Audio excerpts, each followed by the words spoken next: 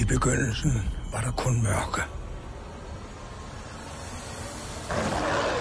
Og i mørke fødtes dæmonen Saral, sakidernes hersker og menneskets undertrykker. Men ud fra skyggerne trådte Kran, krigeren over alle krigere, og bærer af gudernes svær.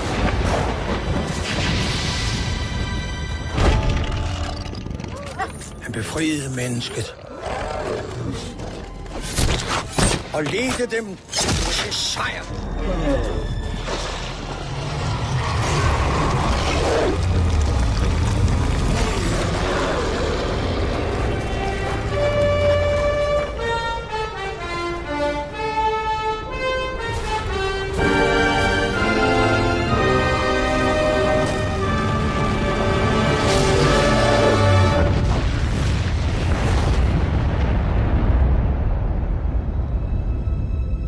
Sejrens pris var høj.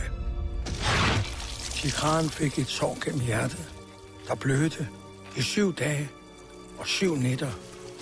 Og hundrede krigere drak hans blod. Og tog hans styrke.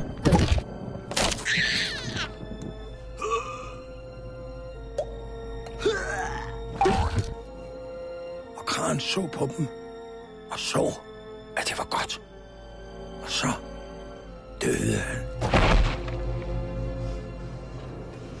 Således skabtes barbarerne